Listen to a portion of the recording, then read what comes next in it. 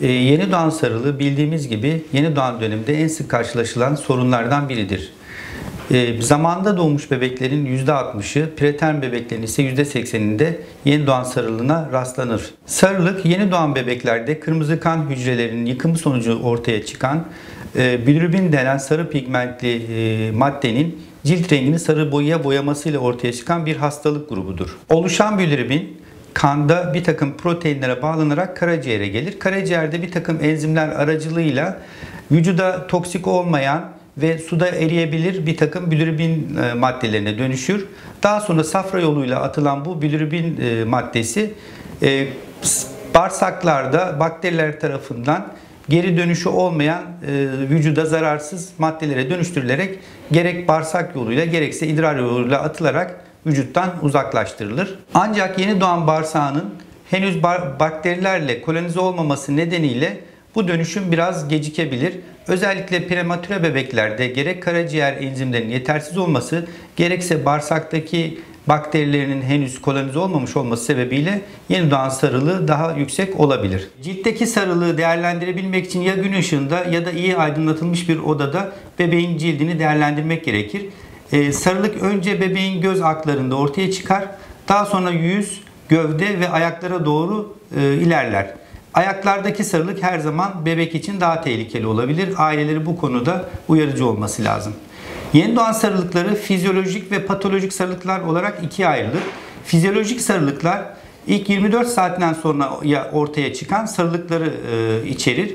Genellikle bu beslenmeye bağlı yani bebeğin yetersiz beslenmesi ve bağırsak e, florasının oluşmaması nedeniyle ortaya çıkar. Genellikle 3-4 günden sonra e, gerileyerek, azalarak e, sarılık iyileşir. Anne sütü sarılığı erken anne sütü sarılığı ve geç anne sütü sarılığı diye iki sınıfta incelenir. Erken anne sütü sarılığında aslında anne sütü yetersizliğine bağlıdır ve ilk günlerde anne sütünün yetersizliğinden dolayı iyi beslenemeyen bebeklerde görülür. Genellikle 2-4 günlerde ortaya çıkar, 3 ile 6 günlerde pik yapar, daha sonra kendiliğinden iyileşir. Tedavisi anne sütünün sık aralıklarla bebeğe verilmesidir. Geç anne sütü sarılığı aslında e, anne sütü sarılı sendromu olarak e, kabul edilir. Çünkü burada e, temel sebep anne sütündeki bir takım nükleotitler, steroidler ve bazı serbest yağ asitlerinin bilirubin konjugasyonunu engelleyerek bilirubin yapımını arttırması nedeniyledir. Ancak buradaki de herhangi bir tedavi söz konusu değildir. Anne sütüne devam edilmesi gerekir. Sadece burada biraz daha uzayabilir. 15 gün kadar sürebilir. Yaşamın ilk 24 saatinde görülen sarılıklar patolojik sarılıklar olarak sınıflandırılır.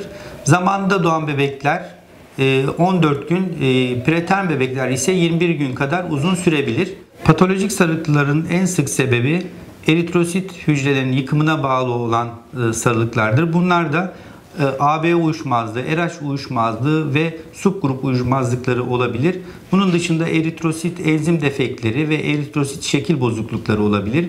Özellikle enfeksiyonlardan sonra yıkım artar. Bunun dışında enfeksiyonlar, doğum sırasında kafa derisi içine olan kanamalar, bağırsak tıkanıklıkları ve metabolik hastalıklar da patolojik sarılıklar sınıfına dahil olur. Tedavisi genellikle sebebe yöneliktir. Eğer kan grubu uyuşmazlıkları varsa ee, öncelikle fototerapi eğer yetersizse kan değişikliğine gidilebilir. Kan değişimi yapılabilir bu bebeklerde. Ee, özellikle fizyolojik sarılıklarda olmak üzere anne sütüyle bebeklerin desteklenmesi sarılığı azaltacaktır.